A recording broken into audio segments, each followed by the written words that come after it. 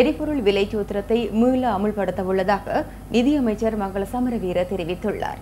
அமைச்சின் கடமைகளை சற்று நேரத்திற்கு முன்னர் பொறுப்பேற்ற போதே அவர் இதனை குறைப்பட்டுள்ளார். இதேவேளை நான்கு மாதங்களுக்கான இடைக்கால கணக்கறிக்கைக்கு அமைச்சரவை அனுமதி கிடைத்துள்ளதாகவும் நிதியமைச்சர் கூறியுள்ளார். இந்த இடைக்கால கணக்கறிக்கையை பாராளுமன்றத்தில் நாளை சமர்ப்பிக்க உள்ளதாகவும் நிதியமைச்சர் மேலும் குறைப்பட்டுள்ளார்.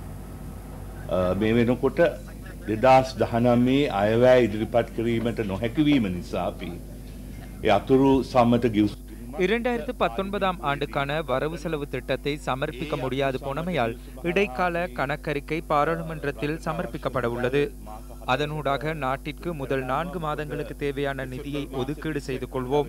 டிசம்பர் மாதம் முப்பத்தி ஓராம் தேதிக்கு முன்னர் இடைக்கால கணக்கறிக்கையை நிறைவேற்றிக் கொள்ள முடியாது போனால் அரசு அதிகாரிகள் ஓய்வூதிய பயனாளிகள் சமுர்தி பயனாளிகள் என யாருக்கும் ஜனவரி மாதம் முதலாம் தேதி முதல் நிதி ஒதுக்க முடியாது. நாளைய தினத்திற்குள் இந்த இடைக்கால கணக்கறிக்கையை பாராளுமன்றத்தில் நிறைவேற்றிக் கொள்வோம். இதன் பின்னர் இரண்டாயிரத்து பத்தொன்பதாம் ஆண்டுக்கான முழுமையான வரவு செலவு திட்டத்தை சமர்ப்பிக்க நாம் எதிர்பார்க்கின்றோம். எங்களுடைய விலை சூத்திரத்தினூடாக மஹிந்த ராஜபக்சவும் நன்மைகளை பெற்றுக்கொண்டார். விசேடமாக தற்போது உலக சந்தையில் எரிபொருள் விலை குறைவடைவதை தமக்கு சாதகமாக பயன்படுத்தி கொண்டு சில நிவாரணங்களை வழங்கினார். நாங்கள் சமர்ப்பித்த விலை சூத்திரத்திற்கு அமையவே அந்த நிவாரணங்களும் வழங்கப்பட்டன.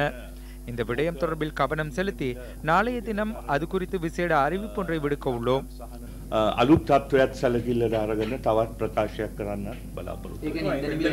අඩුවේද ඉන්තලමිට අඩුවේ අඩුවේද වැ- விலை சூத்திரத்துக்கு அமைய எரிபொருள் விலை அதிகரிக்கப்படுமா இல்லையா என்பது குறித்து தீர்மானிக்கப்படும்